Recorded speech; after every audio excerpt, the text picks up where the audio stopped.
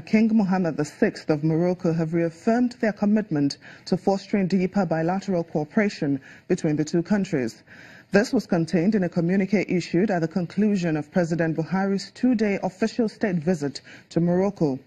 The two leaders appreciated the significant progress in various areas of cooperation, such as agriculture, fertilizer production, energy, infrastructure, and mining. They also reiterated their commitment to the construction of the regional gas pipeline in the Atlantic through the West African coast that will supply Nigeria's gas to Morocco.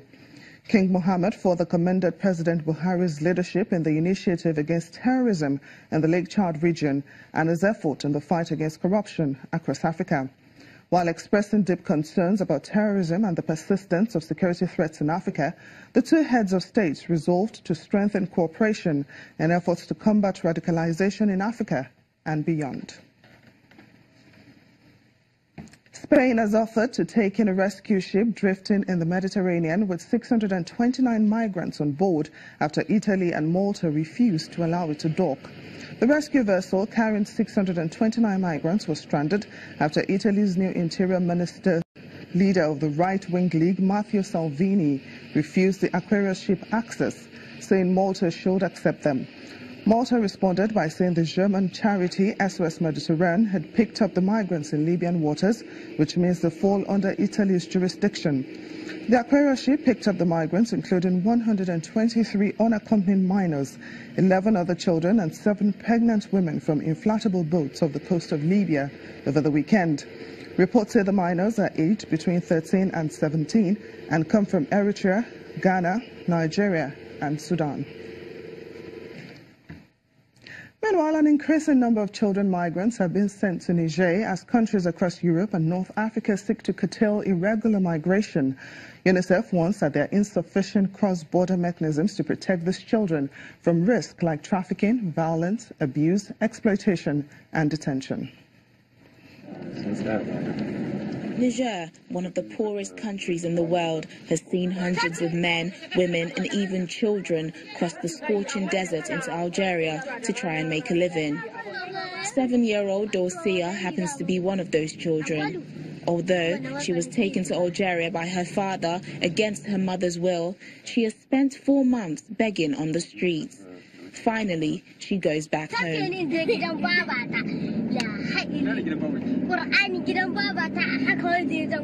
With Algeria saying it can't take any more migrants, Niger has agreed to take them back. Since November last year, more than 8,000 West Africans, including 2,000 children, have been returned to Niger from Algeria. UNICEF is working to reunite children with their families. The agency warns that there are insufficient cross-border mechanisms to protect children from risks of trafficking, violence, abuse, exploitation and detention. Dorcia and her mother, Hazana, see each other for the first time in months in an emotional reunion.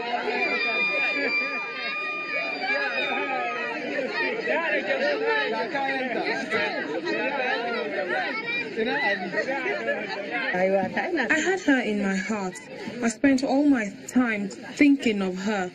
Hazana had little say when her husband decided to take their daughter away to be a street beggar. Dorcia was rescued when she was rounded up by the police.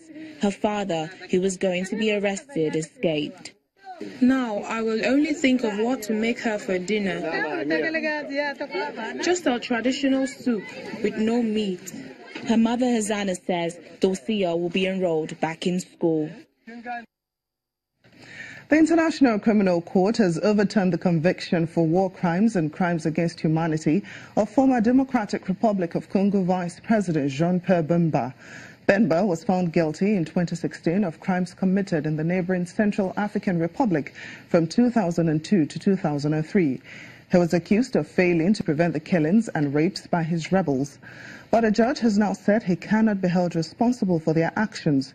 Christine Van den Wyngaert also said the judges on the 2016 case had failed to take into account his attempts to stop the crimes once he was made aware they were taking place.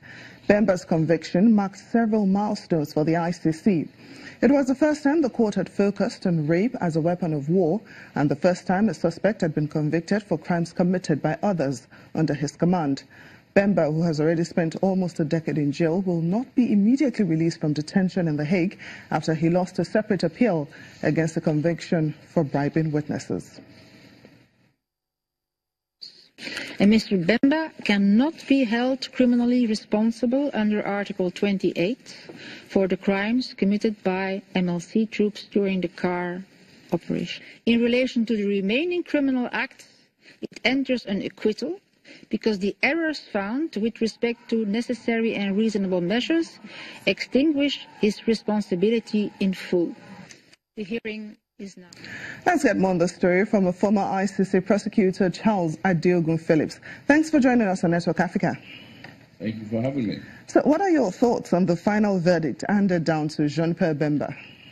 Well, it is certainly um, a severe blow to the operations of the International Criminal Court. As you rightly pointed out, this was indeed a landmark trial uh, based on the responsibility of a superior over the his failure to prevent his subordinates from, from committing crime. So, I mean, this, this is really um, a major setback um, for that court. But having said that, um, superior, the concept, the legal concept of superior responsibility is extremely complex. Um, and as the trial chamber found, issues of remoteness of the accused to where his subordinates are alleged to have been committing these crimes, uh, his actual and or constructive knowledge of the actions of his subordinates are all um, necessary elements of proving such a sophisticated crime, such as superior or command responsibility. I'm not terribly surprised at the, the uh, about this outcome. But what does this mean for subsequent cases similar to this? Will it have any effect on them?